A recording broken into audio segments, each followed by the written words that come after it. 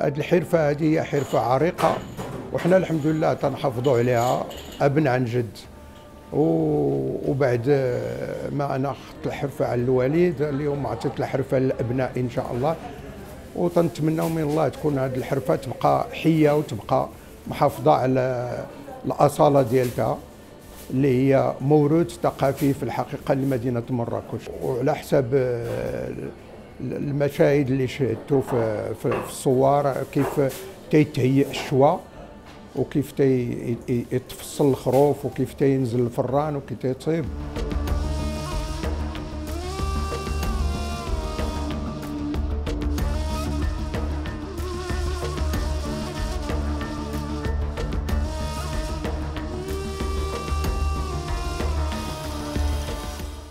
وهي أكلة آه، مغربية قحة لأنه الأصل ديالها من الجنوب المغربي من الصحراء والأجداد رحلوا لمراكش واستمرت هذه الحرفة في مراكش الحمد لله وحنا متحافظين عليها في جميع بعض الأماكن في المغرب انقرضت منها هذه الحرفة ولكن في مراكش الحمد لله باقيين محافظين عليها على الأصالة ديالتها وعلى الطقوس ديالها.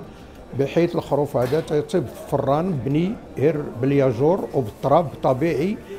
والخروف تيطيب طبيعي بدون توابل بدون شيء. حتى عند الأكل تضاف ليه شوية ديال الملحة والكمون على حسب الطلب.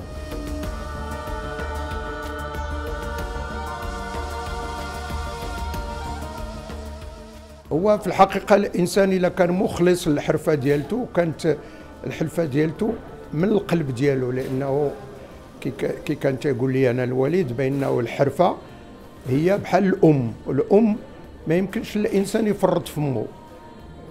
الأم ما عمرها تتعوض ما عمرها تتبدل ما عمرها بخلاف إلا كان شي حد اللي ماشي الحرفة ديالته ترمى عليها.